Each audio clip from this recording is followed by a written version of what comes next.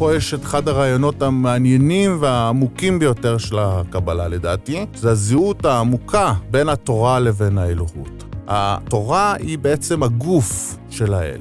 היא בעצם הסובסטנציה, היא ממש הבשר, אם תרצו, של האל. שלום לכם, אני דוב אלבוים. אנחנו פה בסדרה קיצור תולדות האלוהים, בה נשוחח עם חוקרים וחוקרות על דמותו של אלוהים ביהדות, כפי שהיא משתקפת בטקסטים מתקופות שונות, מהמקרא וחז"ל, ועד כתבים של הוגים מודרניים ותפיסות ניו אייג', אני מזמין אתכם להצטרף אליי למסע מרתק אל דמותו של האל. איתי היום באולפן פרופסור אדם אפטרמן, ראש החוג לפילוסופיה יהודית ותלמוד באוניברסיטת תל אביב, חוקר קבלה ותיק ומנוסה. שלום לך, אדם. שלום, אני מאוד שמח להיות פה היום. תודה, תודה שבאת אלינו. הסכת ושמע, הפודקאסט של מכון הרטמן. אנחנו, כמובן, כחלק מהסדרה הזו, הולכים לדבר על דמותו של אלוהים בימי הביניים, באזורים של הקבלה היהודית בימי הביניים, ואולי רגע אני אתן איזו סקירה קצרה כדי שתאפשר לנו להיכנס לנושא. אנחנו מדברים על תקופה שבה יש מקובלים רבים יהודים בכל מיני מקומות, באזורים שונים בעולם, שמתחילים לראות את אלוהים בבחינת שפע זורם. אולי הפסוק מפתח בתפיסה הזו, הפסוק הידוע מספר בראשית, מסיפור uh, גן העדן, ונהר יוצא מעדן להשקות את הגן, ומשם ייפרד לארבעה ראשים. המקובלים בהרבה מאוד הזדמנויות ראו את הנהר הזה כנהר של הזרם האלוהי, שיוצא מהאזורים הנשגבים, הגבוהים ביותר של ההוויה, וזורם לתוך הגן, לתוך גן העדן, לתוך העולם, לתוך ההוויה המציאותית והגשמית. זה בעיניך, אדם, אה, אה, שינוי גדול בתפיסת האלוהות אה, בעולם היהודי, נכון?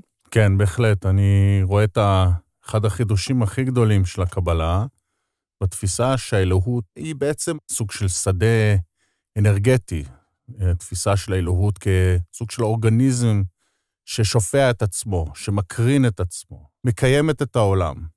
והשפע הזה זורם, זה שפע של אור, זה שפע של רוח. זה יכול להיות גם נוזל הרבה בהחלט, פעמים. בהחלט, הרבה פעמים זה גם יכול להיות נוזל, יש דימויים שונים ו... של מים, של אור. של מים, של אור, של רוח, של קול. של אותיות. של אותיות, יש אה, דימויים שונים של השפייה הזאת, ומושג המפתח פה הוא שפע, זה מושג שלהם.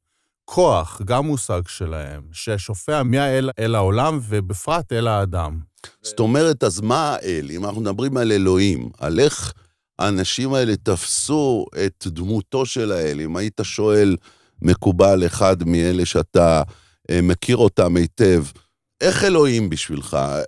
איך אתה מדמיין אותו, איך אתה רואה אותו, איך אתה מרגיש אותו? מה הוא היה אומר לך? הוא היה אומר שהאל הוא אור, או האל הוא רוח הקודש. כן, אני משתמש בשני כיוונים אה, מרכזיים. ושיש ערוצים פתוחים, זאת אומרת, האל הוא לא נמצא מעבר להרים, מעבר לעולם רחוק, שלנו. רחוק. בלתי נגיש. בכלל לא. אנחנו מדברים על תמונת עולם שמשותפת לכמעט כל המקובלים, שיש רציפות בין העולם שלנו ובין האלוהות. ערוצים פתוחים. זאת אומרת, אם אנחנו משתמשים שוב בדימוי מבראשית של נהר, אמנם הנהר זורם אה, לפי כוח הכבידה מהגבוה לנמוך, נכון. אבל אם אתה סלמון, או יש לך שרירים אה, חזקים בידיים כן. ובחזה, אתה יכול לחתור את הדרך למעלה, באותו כן, נהר. בוודאי. צריך להבין שהשינוי הזה בתפיסה של האלוהות, האלוהות עכשיו כ... היום היינו מכנים אנרגיה, כשפע רוחני, תפיסה חדשה של האל. מה פותחת... חשבו הפילוסופים של ימי אה, הביניים? הפילוסופים חשבו על האל כנקודה סינגולרית, טרנסידנטית לעולם שלנו. האל הוא סטטי, הוא מחוץ לעולם שלנו בצורה טוטאלית. אבל גם הפילוסופים, נציין פה את הרמב"ם, ואבן עזרא ופילוסופים אחרים, אברהם אבן עזרא, חשבו שבכל זאת יש נביאה או שפיעה של אנרגיה מהעולם הנסתר לעולם שלנו, רק שזה לא האנרגיה האלוהית עצמה, זה לא האל עצמו. אלא מה? אלא משהו שנובע מתחת לאל. שכל אלוהי, אה, חוכמה אלוהית. כן, חוכמה אלוהית, משהו שהוא נאצל בדרגה אחת מתחת לאלוהות. אבל בגדול יש פער, יש מין בגדול אה, יש פער. חלל פנוי, אם כן, נשתמש בגדול במונחים. יש קפיצה, יש קפיצה איכותית כן. לעבר לאל הטרנסצדנטי. אצל המקובלים יש רצף, מכיוון שמה שנאצל זה האלוהות עצמה. האל מאציל את עצמו מהמקור הגבוה ביותר, מהכתר או מהאינסוף. האל מאציל את העצמות של עצמו, וזה יורד ויורד ויורד ומגיע עד האדם. ובתוך האדם יש משהו שנובע ישירות מן האל, הנשמה שלו. וה- שהיא חלק אלוה ממעל. ממש חלק אלוה ממעל, שמאפשר לאדם בעצם גם לשוב. להתחבר מחדש. בוודאי. יש פה פתח, בעצם הבסיס, תשתית לדתיות מסוג חדש לגמרי. אה, של דתיות של דבקות, של איחוד מיסטי, של אהבה מיסטית, שאנחנו לא מוצאים את המודלים האלה אצל חז"ל ובמקרא. אז איך באמת אה, מתרחש המסע הזה לאקטיבציה של החלק האלוהי שבאדם, לחתירה שלו, להתחברות כן, לשטף הזה של הנער? אם תוכל לתת לנו כן. כמה דוגמאות של, בוודאי. של דרכים שהם כן. אה, נתנו. לפני שאני אציין כמה דרכים, אני רק אציין שיש אה, בעצם אה, שני כיוונים. יש את הזירה האלוהית ויש את הזירה האנושית. והזירות הללו הן מחוברות מבחינה רוחנית, זאת אומרת, יש שפע שזורם מן העולם העליון לעולם התחתון, אבל יש גם פעולות, איזון חוזר, פעולות של האדם, פעולות מוסריות. שעוברות למעלה. שפועלות למעלה. עכשיו, המגע החדש הזה, המגע הרוחני שמתאפשר בין האדם לבין האל, המגע המיסטי של הדבקות, יכול להתקיים או במרחב האלוהי, או שהאדם, זאת אומרת, או שהאדם מעפיל למעלה, למעלה, או שהאלוהות יורדת למטה Mm. ושוכנת בתוכו. Mm, והרבה פעמים התהליכים האלה גם מתרחשים בו זמנית, ואני אתן כמה דוגמאות. בבקשה. אז ברמה הראשונית מדברים על ההעפלה, נדבר על השיבה המיסטית, ההעפלה הזאת לעליונים. אז זה רעיון שבעצם חודר לתוך המחשבה היהודית בימי הביניים, בהשפעה פילוסופית, אה, נהוג להגיד נאו-אפלטונית, והיא מסרטטת בעצם תהליך של הרחנה. האדם, על מנת שישוב למקור הרוחני של עצמו, הוא צריך לעבור תהליך טרנספורמציה. הוא בעצמו צריך להיות יותר רוחני. הוא צריך להפך לישות יותר רוחנית. הרבה פעמים מדברים במונחים של תהליך מאוד קשה, מאוד uh, מסובך. סיגוף. סיגוף קל. אדם צריך בעצם להעצים את היסודות המחשבתיים שלו, איך היסודות הוא עושה הנפשיים. את זה? אז פה הם מדברים על שילוב של כמה פרקטיקות. הרבה פעמים מדובר על פרקטיקה הלכתית, ביצוע התפילה והמצוות בכוונה, שהיסוד המנטלי שמתווסף בביצוע של ההלכה הוא מועצם. יש סוג של, אפשר לכנות את זה מדיטציה, סוג של פרקטיקה מחשבתית, של ריכוז, שבעצם מאפשר לאדם לשחרר, אם תרצה, או להעצים את היסוד המנטלי או היסוד הנפשי בתוכו, ולגרום בהדרגה, ואנחנו מדברים פה על תהליכים מסובכים, ממושכים, להתמזגות של אותו יסוד אנושי באותו אה, עולם אלוהי עליון. והדבר הזה... באמצעות מתואר- התורה והמצוות. באמצעות התורה והמצוות. אה, זה אצל למה? רוב כי התורה המקובלים. והמצוות הם עצמם כבר ישות אלוהית? כן, התורה והמצוות מזוהות עם האלוהות ברמה האונתולוגית, סובסטנטיבית. זה לא רק סמל לאלוהות. זה לא רק דברי נבואה, זה האלוהות עצמה. האלוהות עצמה. פה יש את אחד הרעיונות המעניינים והעמוקים ביותר של הקבלה, לדעתי. זה הזהות העמוקה בין התורה לבין האלוהות. התורה היא בעצם הגוף של האל. היא בעצם הסובסטנציה, היא ממש הבשר, אם תרצו, של, ה... של האלוהות. זה, זה מזכיר לי את המשפט הידוע מתיקוני זוהר, כמדומני. קודשא בריחו, ישראל ואורייתא חד הם. נכון. אנחנו- הקדוש ברוך הוא, ישראל והתורה התורה- הם אחד. נכון. והזהות הזאת היא רעיון יסוד של הקבלה.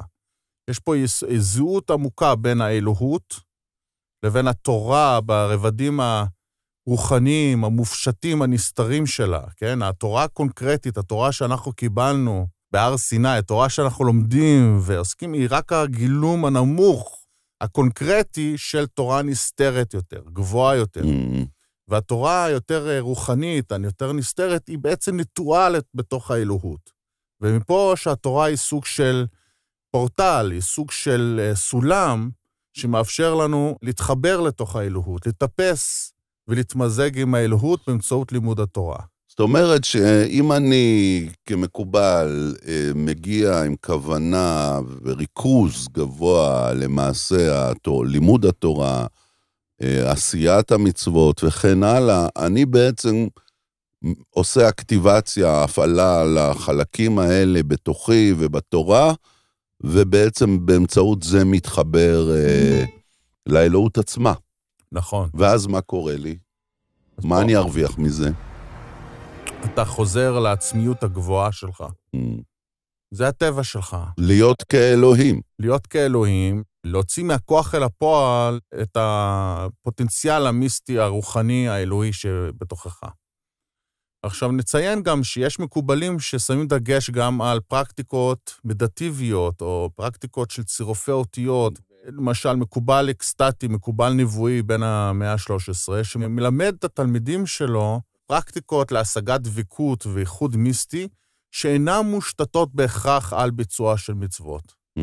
אלא, אלא, על, על פרקטיקות מאוד מורכבות של ריכוז המחשבה וצירופי אותיות בתוך המחשבה. אז Mm. אנחנו צריכים רק לציין שיש גיוון מאוד מאוד גדול בראשית הקבלה בין הפרקטיקות השונות. אין איזה תורה קבלית אחת, אין איזה פרקטיקה קבלית אחת, יש המון סוגים, אבל אצל רוב המקובלים, הדרך להגיע לדבקות באל היא דרך הלימוד תורה וביצוע מצוות, אבל עם תוספת, תוספת מאוד משמעותית של כוונה והתרכזות והתכווננות יומיומית לעבר אותו אה, אלוהות ששופעת אלינו.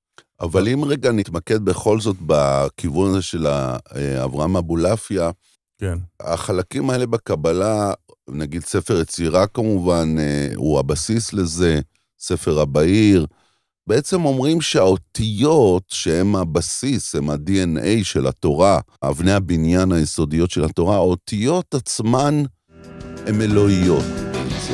יומנים נשרפים, אותיות פורחות. מספיק שאתה משחק עם האותיות, עושה כן. כל מניפולציות עם האותיות, אתה בעצם מסדר מחדש את, את האלוהות באיזשהו מקום. זה, זה מחשבה בלתי נתפסת גם, שאתה קורא את כל העיסוק של המקובלים באותה תקופה בשמות האלוהים. כן. למה לאלוהים קוראים פעם אחת הוויה, פעם אחת אלוהים, פעם צבאות, פעם אל חי, פעם י"ה, כל מיני, והם מתחילים לעשות מניפולציה עם השמות האלה, להרכיב שם כזה עם שם אחר, ובסדרים שונים. כאילו הם מבינים שהם לא רק יכולים להתחבר ככה לאלוהות, להוויה הנשגבת, הם יכולים ממש אה, לשחק עם ההוויה, כי כן. כמו אלוהים, לשנות דברים, להחליף דברים, נכון. לתקן דברים באלוהים, הם, הם הולכים רחוק עם זה. מאוד רחוק. יש באמת שני כיוונים פה, ואני רוצה לחדד. יש כיוון אחד של עיצוב העצמי אצל אבולעפיה, שבו האדם בעצם, באמצעות לימוד של צירופי האותיות, יכול בעצם לפרק את המבנה הסמנטי הרגיל של ההכרה שלו, שבעצם מושתת על ידי חשיבה בשפה מילולית. מילולית, על ידי אה, שבירה אקטיבית של הדפוסים הסמנטיים של המחשבה, בעצם האדם יכול לפרק או לקרוע את המחסום של ההכרה שלו ולאפשר לאלוהות, לאור האלוהי, לחדור לתוכו. אז זה הפירוש שהם נגיד אה, מתחילים ליצור צירופים בלתי אפשריים נכון. אפילו להגייה נכון. של שמות האל. מה, כדי לפרק את התבניות כן. וכדי שכמו שלאונרד כהן אמר, ש, שיהיה סדק שדרכו נכון. האור יכול נכון, להיכנס. הסדק הזה הוא קריטי. That's how the light gets in. That's how the light gets in. אה, החסימה של ההכרה, את אותו, של אותו שפע, מאוד חזק, מאוד... אה, התבניות סוגרות התבניות עלינו. סוגרות עלינו, ואצל אבולעפיה ספציפית, אתה צריך להפעיל טכניקות מאוד מאוד חזקות על מנת לייצר את הסדק הקטן הזה, לאפשר לשפע האלוהי לפרוץ פנימה, אבל ברגע שהוא פורץ, הוא מתאר חוויות מאוד מאוד חזקות. מה של למשל? שטיפה, למשל, שהשפע ממש מושך שאדם נשטף בשפע ש... כמו של אור. שמן, של אור, או של רוח, חוויות אקסטטיות מאוד חריפות, שהוא מזהה גם כנבואה. עכשיו, אצל מקובלים אחרים, האדם יכול גם לא רק לפעול על ההכרה של עצמו, הוא יכול ממש לפעול על האלוהות. רעיון מאוד מאוד חשוב בקבלה המיינסטרימית, המרכזית, בזוהר. אדם לא רק מתחבר עם האלוהות, אלא משפיע על הדינמיקה של מה האלוהות. אתה חושב על הרעיון הזה? זה רעיון אה, מטורף. האדם הקטן שיושב לו בצפת באיזה דירת מרתף אה, תחובה, הוא בתפילתו משנה את כל מערכי ההוויה האלוהיים. אני חושב שהם חשבו על הרעיון הזה במונחים יותר קולקטיביים. וזה מתחבר באמת לרעיון שהזכרת קודם, של הזהות עם כנסת ישראל. זאת אומרת, הרעיון הוא שעם ישראל כקולקטיב רוחני, כישות רוחנית. כישות רוחנית כלולה בתוך האלוהות. כן, היא מזוהה בעצם אותה אה, דמות נקבית שמגלמת את עם ישראל, ועכשיו היא מזוהה עם השכינה, עם האלוהות עצמה. כן. ולכן אנחנו כקולקטיב, עם ישראל כקולקטיב, לפי ההתנהלות שלו המוסרית והדתית, ובפרט ביצוע מצוות התפילה, משפיע על מצב העניינים הדינמי הזה בתוך האלוהות.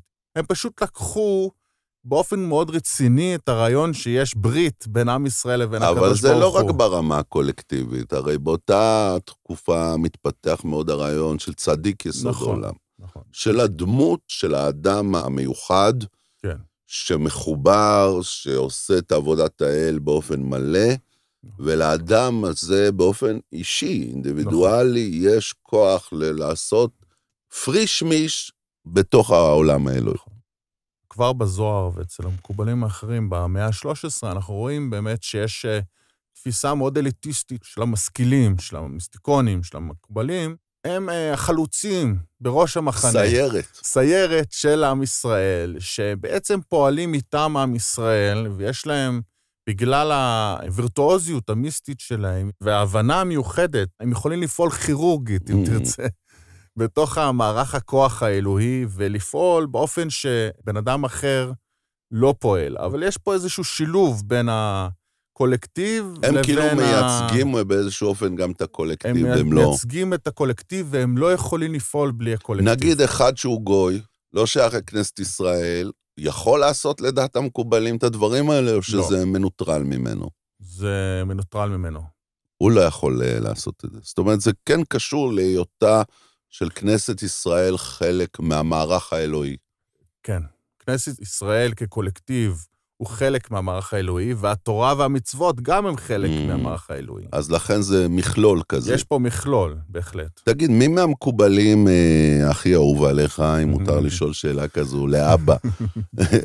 תראה, אני מאוד אוהב את הזוהר, אני מאוד אוהב את אה, אברהם אבולעפיה, את כן. אה, ג'יקטיליה, תלוי בתקופה.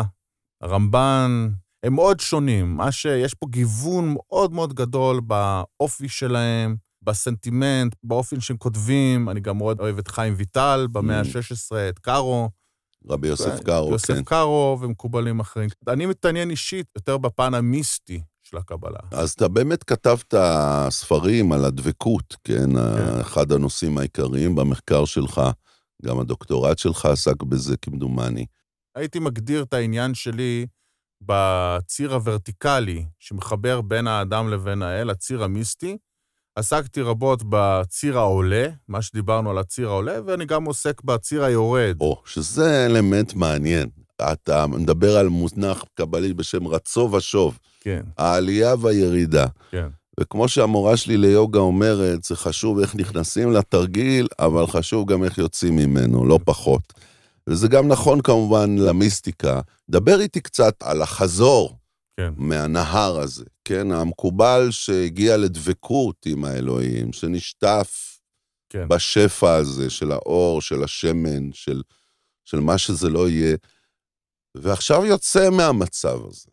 איך חוזרים לחיים? במסורת היהודית ובמסורת המיסטית היהודית יש דגש רב על החזרה. אותו מקובל ממשיך ישר לעשות מצוות וללמוד תורה, סדר יום ממשיך כרגיל. לא לוקחים שבוע עכשיו אין שבוע. חופש. אין שבוע חופש. אם ו- כי למקובלים, הלוריאנים, יש חופש בימי ספירת העומר, כי אז כן. אסור להם לעשות כוונות. נכון. אבל אין פה תפיסה שאומרת, אני עכשיו הגעתי להערה ואני חוזר באופן דרמטית שונה ממה שהייתי. יש פה תפיסה שבעצם אומרת שאנחנו ברצון ושוב, וזה סוג של דרך חיים. לכן זה קשור ללימוד תורה ולמצוות. האדם צריך לחזור ולהמשיך פחות או יותר באותם דברים שהוא עשה. אבל זה מורכב, נכון? המעברים האלה, מדברים על המורכבות של המעברים האלה, של כן. הנפש, של התודעה, של הגוף.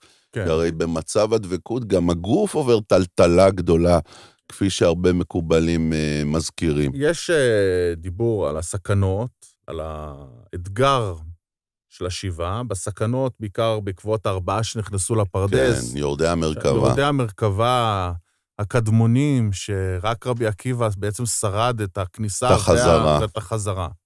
אז יש הבנה שבהחלט יש סכנות גם פסיכולוגיות, גם נפשיות וגם חברתיות.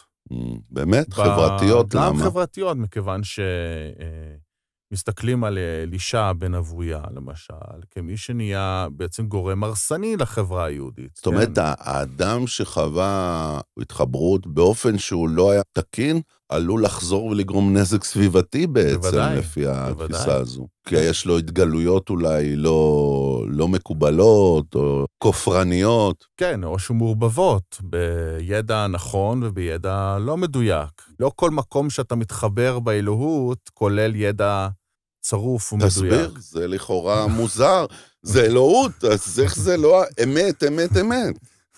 במעבר מהאלוהות הטהורה, האור העליון, הטהור, עד העולם שלנו, יש שלבים שונים, ויש הבנה שבעיקר בנקודת הממשק, כן, שהספירת מלכות, או השכינה, הנקודה הכי רגישה במערכת, שהיא מעורבבת. שהיא מעורבבת. יש בה טוב ורע. יש בה טוב ורע, וגם האדם בעצמו הוא כלי שיש בו טוב ורע. ולכן האנרגיה הזאת, שחודרת לתוך האדם ומייצרת בו תוכן, התגלות, האדם בעצם מפרש.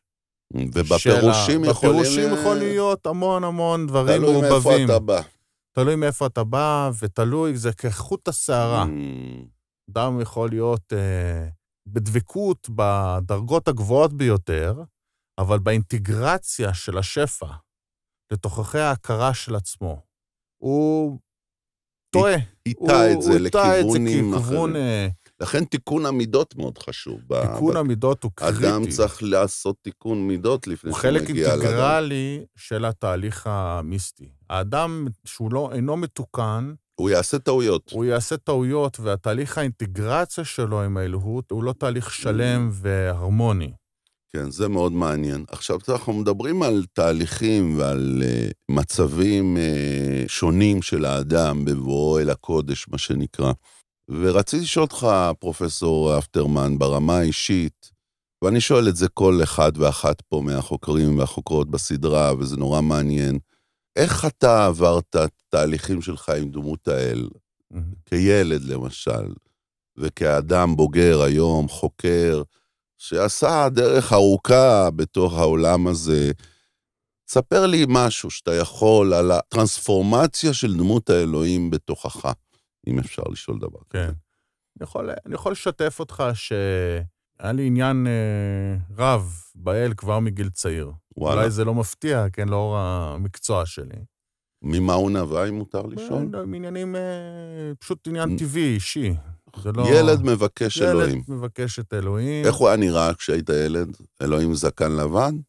לא, לא דמיינתי אותו כל כך, אה, חשבתי עליו יותר באופן מופשט. כן, כבר כילד? כן. זה מעניין. אבל למשל, אני אתן לך דוגמה, לא התחברתי, אם אפשר לקרוא לזה ככה, כל כך לרעיון של אל כאין סוף. עד היום אני ככה חושב למה? הרבה על כי הרעיון הזה. חסרה פרסונה? כן, המתח עם התפיסה הפרסונלית, למרות שזו סוגיה שאפשר לדבר עליה הרבה, כן? מה, מה, מה פרסונלי בתוך כל המערכת השפע והאלוהות? מאוד התעניינתי בפן הפרסונלי של האלוהות, Mm, ובפן של הדבקות באלוהות. דברים מסוימים השתנו, ודברים מה מסוימים... השתנה, אם תרשה לי? מה, מה שהשתנה? פשוט ההבנה שלי של ההיסטוריה של התפיסה הזאת בתוך המסורת היהודית, ודברים נוספים. והיום כשאתה חושב על אלוהים, זה, זה אלוהים אחר. זה שונה מהילדות, או שלא. כן, זה שונה קצת, כן. כן. זה יותר עשיר, יותר אה, מורכב. יותר מגוון. יותר מגוון, כן. בכל זאת, המסע אה, לעבר האל, מבחינה אינטלקטואלית גם, הוא מסע ארוך. כי זה גם מסע לתוך עצמנו. הוא גם מסע לתוך עצמנו, הוא גם מסע של אה, לימוד של המסורת היהודית, ובמידה רבה גם של המסורת הפילוסופית. אני סבור שכל מה שדיברנו עליו היום, ציינתי את זה קודם, הוא תוצאה של פתיחות של המחשבה היהודית, פתיחות... אה, ל- של- לתרבויות שונות. לתרבויות שונות, שדווקא בימי הביניים אנחנו מוצאים את הפתיחות הזאת, ששינתה באופן דרמטי את ההיסטוריה של המחשבה היהודית. תגיד, אתה חושב שבודהיזם חדר אה, לתוך הקבלה, מסורות מזרחיות באופן כללי? יש לנו... יש הרי עדויות בזוהר יש, לחיבורים בהחלט, יש כאלה. אה, מגע מסוים בין מסורות מזרחיות ליהדות, אבל אני לא חושב שזה דבר משמעותי מאוד. Mm, הרבה יותר משמעותי זה המגע עם הפילוסופיה היוונית הערבית, כפי שהתפתחה לתוך ימי הביניים. גם Mm. הפילוסופיה המשיכה להתפתח, לא רק היהדות לתוך ימי הביניים, והמגע עם הנצרות והאסלאם. תגיד, יש לאלוהים עתיד בחברה שלנו? מה אתה אומר? כן, אני חושב שלאלוהים תמיד יש עתיד, כי לכל בני האדם יש, אה, או לחלק גדול מהאנשים, יש עניין טבעי באל ובתפיסה של האל, בהיסטוריה של האל. אז תמיד יהיה מקום אה, לאלוהים גם בחברה שלנו. לא, אבל אני שואל האם, האם זה דבר אה, שאתה אוהב אותו? האם חברה שהיא כולה אתאיסטית, אה, שאין לה כבר עניין באלוהים, היא חברה יותר מתפתחת או, או מוגבלת באיזשהו מקום? שאלה תיאורטית מדי בשבילי, כי אני, לא רואה, היום אני לא רואה חברה שהיא אה, נטולת אלוהים. אני לא מכיר תופעה כזו של חברה נטולת אלוהים. אני כן אה, סבור שחשוב לשים על השולחן שהציבור הישראלי, הציבור היהודי, יכיר את העושר הרב, את הגיוון הרב שיש במסורת היהודית, וזה חלק ממה שאני עושה כפרופסור באוניברסיטה. למה זה חשוב? זה חשוב מכיוון שאנחנו לא רוצים שאנשים יהיו כבולים לתמונות מסוימות של האלוהות. יש למה? לזה כי אז השלכות. זה, זה, זה גורם לפונדמנטליזם ודברים... זה עשוי לגרום לפונ- ל- באמת לתפיסות יותר קיצוניות של הדעת, וגם זה חוסם את האפשרויות היותר רוחניות, את האופציות האדם של עצמו. האדם. זה המסורת שלנו, ואין שום סיבה שיהודים וישראלים לא יוכלו לקבל גישה אל העושר הרב, וזה חלק מהתהליך של המחקר שאני עברתי לאורך השנים, זה שתמיד נדהמתי איזה עושר יש לנו במסורת. ובעצם הכל לגיטימי. הכל לגיטימי. יש... זאת אומרת, כן. זה מביא גם לפלורליזם. זה מביא לפלורליזם מסוים, זה מביא לתפיסה הרבה יותר אה, מעניינת של האדם. יש ודינמית. גיוון- ודינמית של האדם. יש פה תפיסות רוחניות מאוד מפותחות, וגם זה נותן פשר נוסף מאוד מעניין להיסטוריה היהודית, אלה ל- הקודש. לכתבי הקודש, וגם ללייפורם, לצורת החיים Mm. היהודית, ה- למשל, כל הפשר הרוחני-מיסטי שנותנים לסוכות, לראש השנה, ליום כיפור. מקבל מטען חדש. מקבל מטען חדש ומעניין ומקורי, שאני חושב שחשוב שכולם אה, יכירו, לא חייבים לקבל את זה, אבל מן הראוי שכולם. יכירו את האפשרויות. תודה רבה, פרופסור אה, אדם אפטרמן, ראש החוג אה, לתלמוד, לפילוסופיה יהודית ותלמוד באוניברסיטת תל אביב, אה, עמית מחקר במכון שולם הרטמן בירושלים, על השיחה המרתקת הזו, מלאת החידושים. תודה שהצטרפתם אלינו לעוד פרק של קיצור תולדות האלוהים. אני מקווה שנהניתם. מוזמנים ומוזמנות להירשם כעוקבים אחרי הפודקאסט של מכון הרטמן, הסכת ושמע. בפלטפורמת ההסכתים המועדפת עליכם, ולקבל עדכונים כשמתפרסמים פרקים חדשים. אני הייתי דוב אלבוים, תודה רבה על ההאזנה שלכם, להשתמע.